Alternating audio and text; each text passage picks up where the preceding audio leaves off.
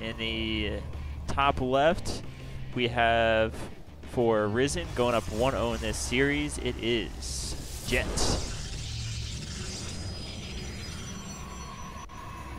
Man in the bottom right, playing in the orange.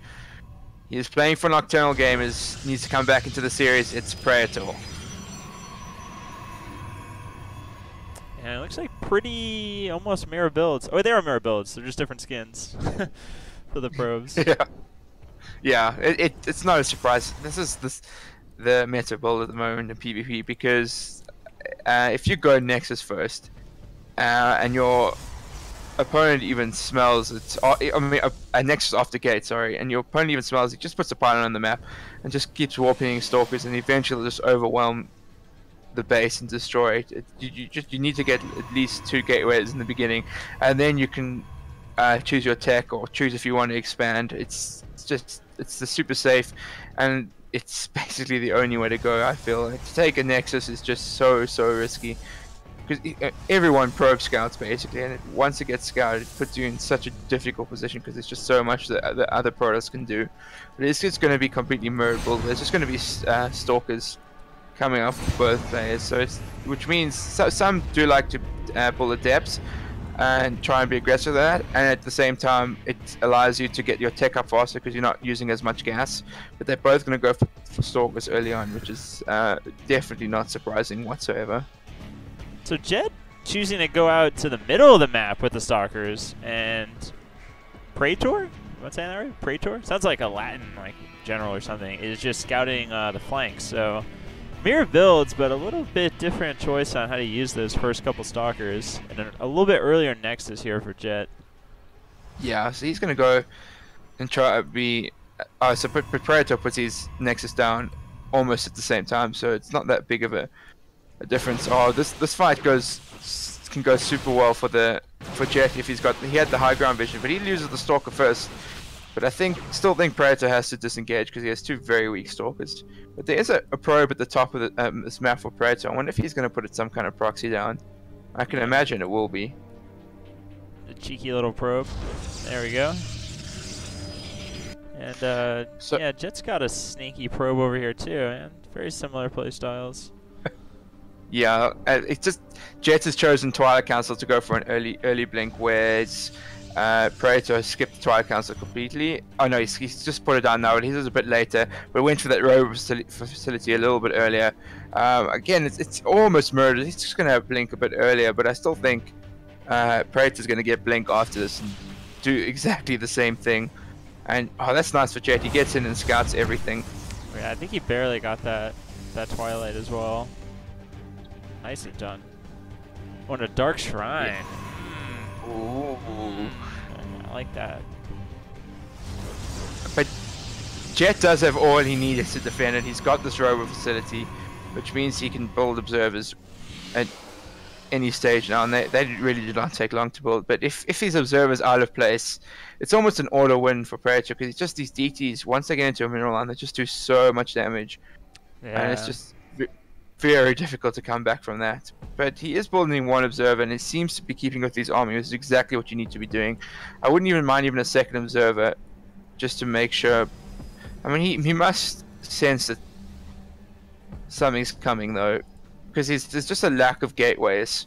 I mean, he's put them down now, but they are very much delayed than they normally would be. I mean, if, if War Prism flies in, and there's DTs, and the, then there's no observers around. Mineral lines become so so they just they just fall so quickly. I think he just has the one observer, and it's yeah, it's it is natural. And now he just yeah yeah now mortals. Well, he's got one. Something. We'll see. Yeah, I think it I think it might be enough, but it, it, we'll see. It's, you do need to uh, know that uh, see that they're coming. Uh, not, I don't think he's going to see the war prism. Yeah, that's that's really clever to split them off. I don't okay, see the gonna. Oh my god, he sent it out on the map. Oh, it's out on the map. Okay, this is really bad. Oh, that is this bad. Is, is... Six probes so far. I think he's gonna avoid losing Toonie probes just by running them around, but like, there's a lot of delayed mining time. I don't think Praetor should have ever taken his DTs and disengaged. I don't think he realized how far the observer was out on the map. He could have got so many more probe kills if he just kept following the probes around. So, but that, that's, I mean, Jet is really far behind in the worker counts, and that's really not good. But that could have been so so much worse for Jet. Yeah, that could have been pretty devastating. I don't think there's too much. Uh, I think it's that bad if you lose those two DTs. It's not like you have to bring them back home to defend against like a counterattack or something. Uh, but Yeah, now he now he has them. So and he's ahead in, in workers. And Jet doesn't I care. He's like- dropping the third base. which is probably going to go down to this DT. No, okay. If he had attacked pretty, uh, pretty early on, that next would have been in danger. But it should go up, even if it starts swiping it away. Uh, swiping away. Oh, there he goes. Now he sees. They're just barely out of vision. But he, at least he scouts the third base. That's pretty good for for uh, Predator. He knows that this third base is down for Jet. Yeah. So he's gonna he's gonna move out on the map with an army of his own. But I think uh, Jet does have enough at home and defenders advantage as well to to hold it. But it is he does Predator does have a pretty big army supply lead, and he also has these DTs as well, which will be morphed into Archons, which is pretty strong. Yeah, I'm feeling a little bit nervous for Jet here. He has two Immortals, but he's kind of teching right now. He's building more gateways. He's got the Templar Archive coming in. Uh, he's got a few sentries, so maybe he can buy some time. But this area outside the third is so wide that I don't know, man. Let's see what happens.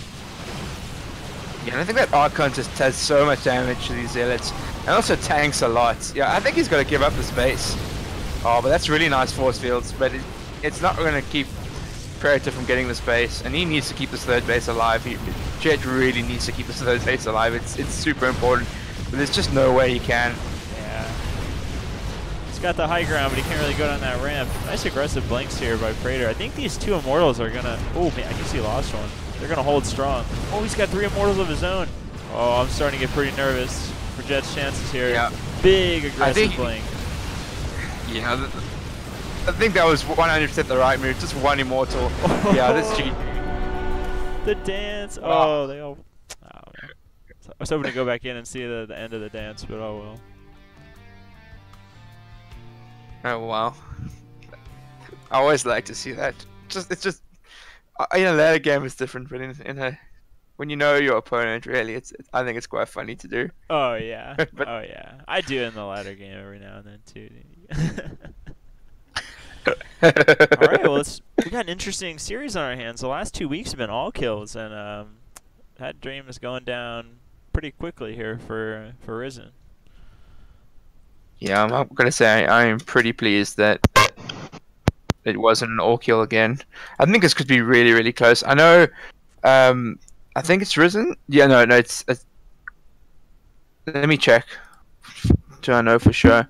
Yeah, Risen has uh, Fight Some Crime. It's actually Oh My God Banana from South Esports, and he's really good. Like he's 6k MMR, and he, he could definitely do a lot of damage if they get him in. Man, yeah, I think I remember looking up his stats last time. He's like I don't know, like 30 or 40 GM or something like that. Really crazy, really crazy stuff. Man, all these Yeah, that is top-tier really good. Protoss. I guess they're all hiding in Masters and uh, in GM. I, was, I was just amusing myself yesterday because there was some, I don't know, there was some like, like SC Reddit post about how like whenever some diamond player, whenever he beats a, a Protoss player, he just feels like he's clubbing an endangered animal or something. and I went and looked; they really are like Protoss are like pretty outnumbered in like diamond and plat, um, but uh, Terran is like 60% of Bronze League, so yeah, feels Yeah. good, man.